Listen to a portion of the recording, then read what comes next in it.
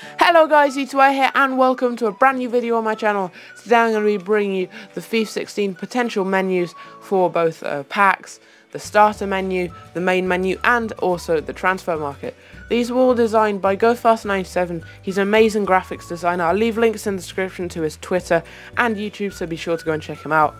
This is the starter menu. Does look really cool. I really like the white line that moves across in uh, the bottom right and also the one in the top right looks awesome. Uh, the, there are the green triangles and the little white dots moving about in the background over the blue background which looks awesome. I really like it. And also Messi with the sort of blue triangles on his shoulders does look really cool. And also the white lines that sort of go across his body uh, make it look really cool. And it's uh, pretty a pretty unique design. I've not seen one like this on any of the previous FIFAs. And uh, it would be a really cool new fresh design. And I hope this is uh, pretty similar to what they are going to have on FIFA 16 because this one looks absolutely amazing. Moving on to the main menu design. Uh, this one here it's probably my least favourite out of all the designs here, but I still quite like it.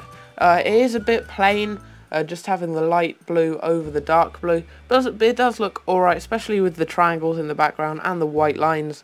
Uh, and uh, yeah, you, you can have uh, all the normal things like kickoff and ultimate team.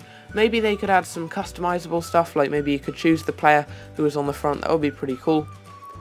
Next, moving on to the transfer market, probably my favourite part uh, of this design. And uh, it does look awesome with uh, the different uh, options that would really help with trading, such as the um, minimum maximum price ranges. It actually shows the player's price ranges.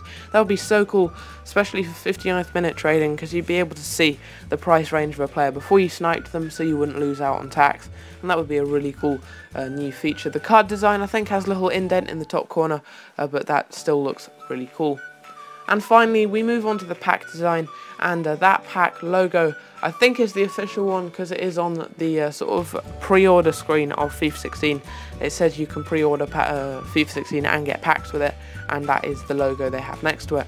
And uh, yeah, that's really cool, especially with the little triangles around it. The triangles in the background again, this time over a stadium background looks really cool. And I like the new green and blue design. It looks really cool, especially here you've got the green sort of highlighted section. Looks really, really nice. And uh, yeah, I really like this design. So you guys did enjoy the video. If you did, uh, be sure to smash the likes. Go and check out GoFast97 uh, on Twitter and YouTube. Uh, he does make some amazing graphics. I'll leave links in the description to him. So yeah, hope you guys did enjoy and I'll see you in my next video. Take care.